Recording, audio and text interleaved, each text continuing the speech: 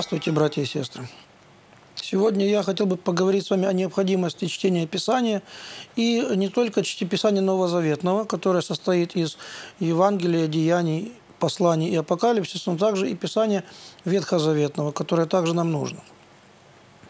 Э, в притче, известной нам всем с вами, э, по крайней мере по, по своему внешнему составу, в притче о блудном сыне, простите, о притче Господа о добром самарянине – эти притчи две мне как бы постоянно в сознании вращаются, их очень люблю. В притче о милосердном самарянине есть речь о том, что милосердный самарянин, сжалившись над избитым человеком, шедшим из Иерусалима в Ерихон, Привез его в гостиницу, предварительно промыв ему раны вином и смягчив маслом. Садил его на свой скот, то есть на своего э, вьючного э, осленка животное, и привел его в гостиницу, где заплатил за него э, и попросил гостиничника дать ему некий уход и любовь свою оказать ему. Потом дал ему две монеты и говорил, что я вернусь и заплачу если ты издержишь больше на этого э, страдальца, то я, вернувшись, заплачу тебе еще раз. Вот это все имеет и буквальный, и глубокий аллегорический смысл. Если разбирать это как аллегорию, как некое иносказание, то Иерусалим и Иерихон – это два символа. Э, Иерихон находится на тысячу метров ниже уровня моря, а Иерусалим примерно столько же выше уровня моря. И в еврейском языке нет выражения «иду в Иерусалим», а есть выражение «восхожу в Иерусалим». Нет выражения «ухожу из Иерусалима», а есть «не схожу из Иерусалима». Нисхождение из Иерусалима в Иерихон означает падение человека, выпадение из рая и жизнь в этом мире – Иерихон – символ греха, и твердыни греха – это твердыни ерихонские. Человек, который выпал, попал в эту беду – это Адам. А разбойники, бившие его, но не убившие, это демоны. Бесы убили бы его, если Бог не, если не, не, от, не отступил от него, если Бог позволил. Но они могут только то, что Бог позволит, а они жестоко избили его, едва живого оставили. Мимо него прошел священник, левит, то есть закон мимо человека идет. Закон навязывает на него какие-то обязанности, но не врачует его э, душу и, в общем-то, безразличен человеку. А вот уже добрый самарянин – это Господь Иисус Христос, который оказывает человеку жалость э, независимо от того, любит его или не любит, потому что самарянин – это ругательное слово и ненавистный для евреев человек.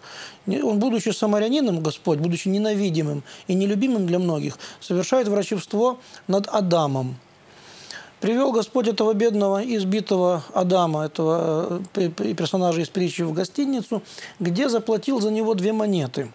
И вот этими монетами является Ветхий Завет и Новый. Гостинник – это человек, который должен совершить попечение об этом спасенном уже, собственно, Адаме, то есть это церковь. Гостиница есть церковь, где э, епископы, священники, учителя и наставники совершают тревожные любовное попечительство об этом израненном человеке, а Господь, когда вернется, тогда Он вознаградит гостинника за его труды. Если он что-нибудь истратил более, нежели Ветхий и Новый Завет, то он получит тем более большую награду.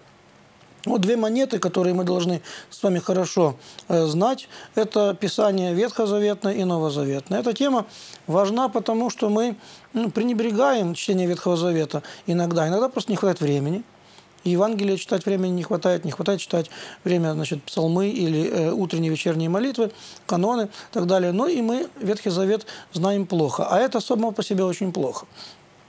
Некоторые же могут подумать, что оно и нам и не нужно.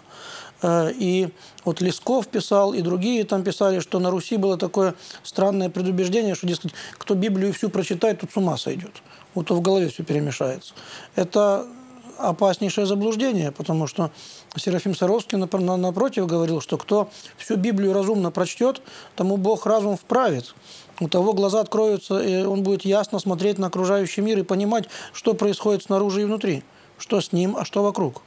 Только тогда, иначе без Писания человек слеп. Он слеп и помрачен, он как э, с карусели сошел, сошел у него все крутится, перед головой его подташнивает от дурного состояния, в котором он находится. Это непременное занятие человека, братья и сестры. Э, примерно с 13-летнего возраста э, человек должен уже читать Писание, как вот в еврейских законах было э, для мальчиков, давалась ему книга законов, впервые читал Писание вслух, и с тех пор уже ее не, покидал.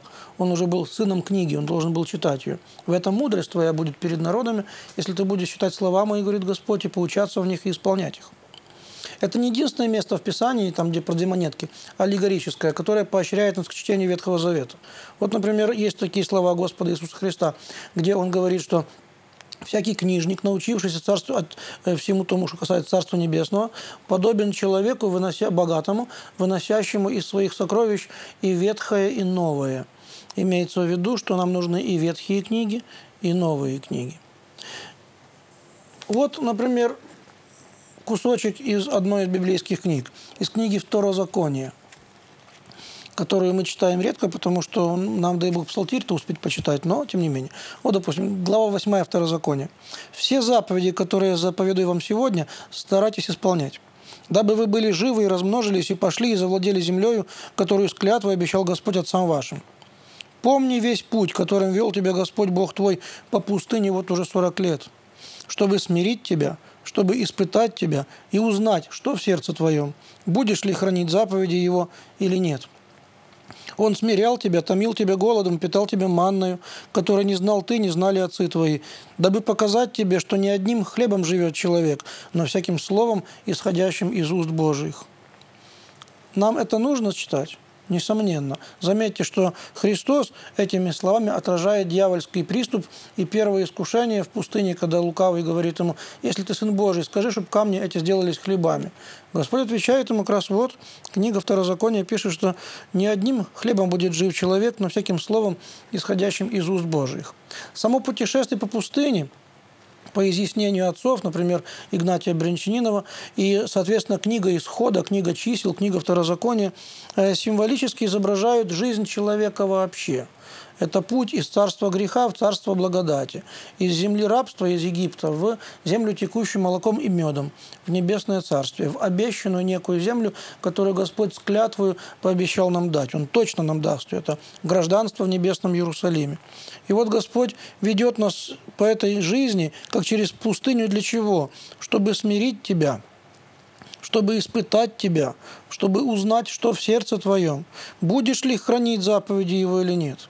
Поэтому живет так трудно человек, так э, много разных вещей труд его со всех сторон, даже до крови. Так много вещей колют его, э, даже до глубины души. Потому что Бог испытывает и узнает человека, что в сердце твоем.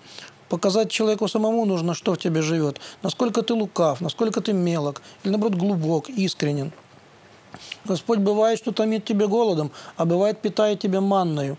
Наше причастие есть не что иное, как э, настоящая манна, хлеб ангельский, э, плоть Господня, это хлеб вечности. То, что не знали отцы твои, чтобы показать тебе, что не одним хлебом будет жив человек. Одежда твоя не ветшала на тебе, и нога твоя не пухла вот уже сорок лет и знай в сердце твоем, что Господь Бог твой учит тебя, как человек учит сына твоего своего. И так храни заповеди Господни, ходи путями его и бойся его. Ну разве нам это не надо, братья и сестры? Разве можно этого не читать? Разве можно этим пренебречь, забыть, как бы невнимательно отнестись? Ветхозаветные книги очень нужны нам. Нам нужна и псалтирь, которая важнее всех ветхозаветных книг. Нам нужна книга «Бытия». Обучая детей своих закону Божьему, нам нужно брать самые легкие книги, ну, может быть, кажущиеся легкими, но все-таки такие, как притчи Соломоновы, к примеру.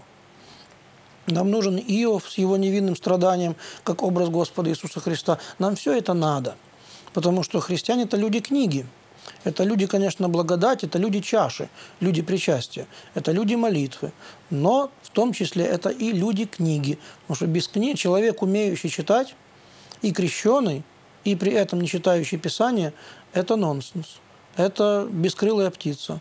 И же есть пингвин или курица, которая крылья имеет, но не летает.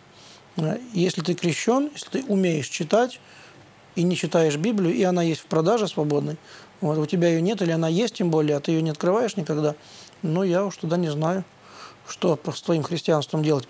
Открывайте хотя бы раз в день ее на любой страничке. Так говорил мне один старенький батюшка, хоть носом тыкнись и возле лица открытую Библию подержи. Оно и уже тебе без плода не останется. Так что всякий книжник, научившийся Царству Небесному, должен выносить сокровища и из Ветхого, и из Нового. И две монетки дал Господь гостиннику, чтобы он ухаживал за больным Адамом.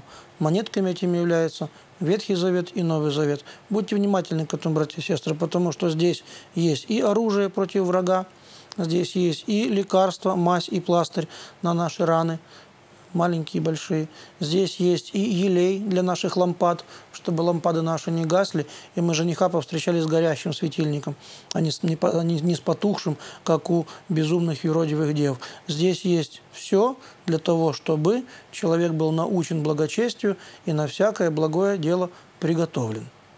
Ангела-хранителя, доброй ночи и до скорой встречи.